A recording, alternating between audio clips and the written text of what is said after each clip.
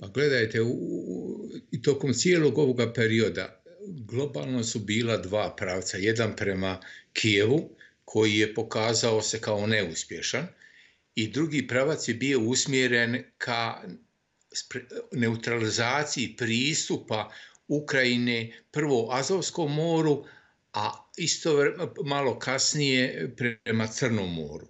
U zoni Azovskog mora su oni e, praktično preuzeli potpunu kontrolu obala izuzev Mariupolja, gdje se vode još žestoke borbe i gdje treba stvarno stanovnicima i borcima Mariupolja odati vrhunsko priznanje.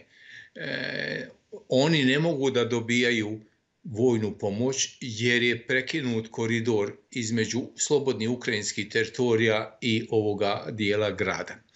Vidjeli ste da u zoni oko Krima su Rusi pojačali dubinu svoje teritorije, tako da praktično oni će u nekom doglednom vremenu proširiti dubinu teritorije u zoni Azovskog mora i dijelu Krimskog poluotoka da osiguraju tampon zonu prema Ukrajini i pokušat će proširiti dubinu i dužinu te zone što više mogu. Nisam siguran u potpunosti da, da će ići prema Odesi iz jednog e, razloga što bi onda imali direktni kontakt sa Rumunijom i u skladu sa tim sa NATO paktom. Mislim, to je sada jedna dilema, zavisi od strateških odluka ljudi u Kremlju. Ovdje sada, e, kako bi to rekao, igra pokera, ja?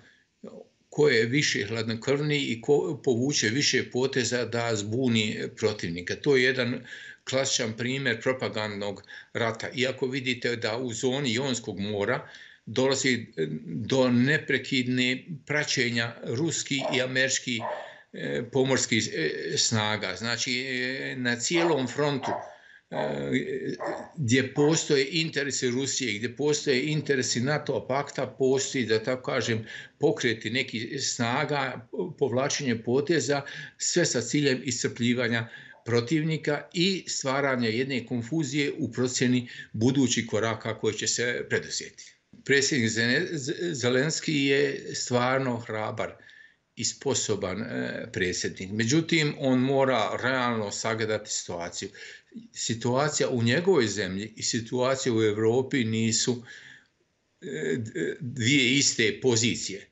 On se žestoko bori zajedno sa svojim narodom, dobija stvarno vrhunsku pomoć što se ne pamti da je jedna zemlja ikada dobila i financijsku i vojnu pomoć od saveznika kao što je Ukrajina. Međutim, realno, on mora sam da se suoči sa ovom situacijom sukoba sa Rusijom može očekivati u buduće značajnu vojnu i financijsku pomoć, brigu o izbjeglicama koji su izašli iz uh, Ukrajine. Međutim, ja mislim da neće doći do sukoba, bilo kakvog sukoba, jer to ne odgovara ni jednoj ni drugoj strani, jer taj sukob bi neminovno u nekom momentu doveo u pitanje primjenu taktičkog nuklearnog oružja. A to ni jedna ni druga strana ne želi da se desi predsjednik Putin je izuzetno sposoban, pametna, sposobna, pametna osoba, drži stvari pod kontrolom, on treba samo da se zabrne zbog čega se desilo ovo što se desilo, ko su njegovi saradnici koji su mu davali pogrešne informacije. Na njega treba budu, računati i budućih godina i istovremeno e, povući iskustvo iz ovoga što se sada desilo. Znači, generalno, on je opasan protivnik.